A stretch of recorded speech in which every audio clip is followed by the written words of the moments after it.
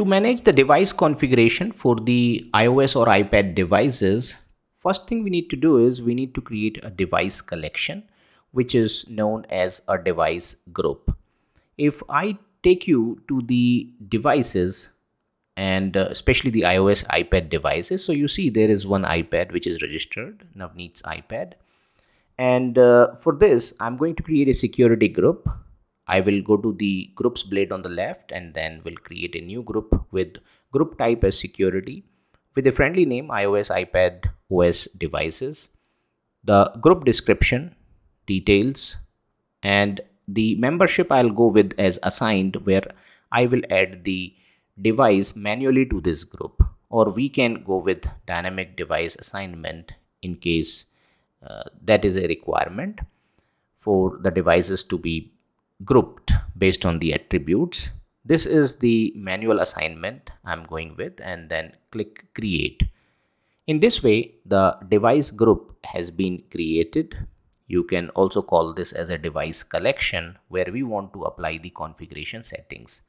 I will now go to the devices and the configuration blade under manage devices where from I will create a new policy. This policy is for my Contoso organization. The platform of course is iOS iPad OS as per the requirement of this demo and it's based on the existing templates I'm going to use. This template is for the Wi-Fi. We have many of the templates as you see custom derived credentials, PKCS, email. This is for Wi-Fi. It will inherit the configuration from this template but I will provide the friendly name, the description for this configuration profile. The platform and the profile type I have already selected so that has been grayed out. Under the configuration settings, I will decide the Wi-Fi type whether it is basic or enterprise. In my case, this is basic profile I'm configuring for demonstration.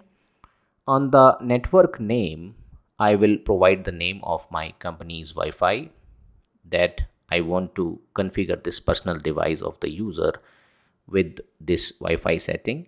The SSID main office and uh, this is connect automatically enabled. I want the security type as WPA WPA2 personal.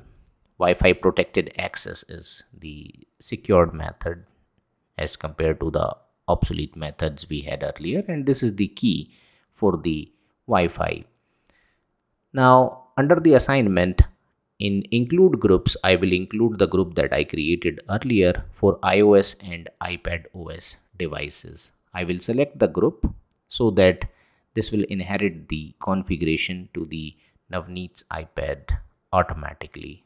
Now I will finally click create to create this configuration profile. This is how we can configure this profile. I hope this tutorial was informative.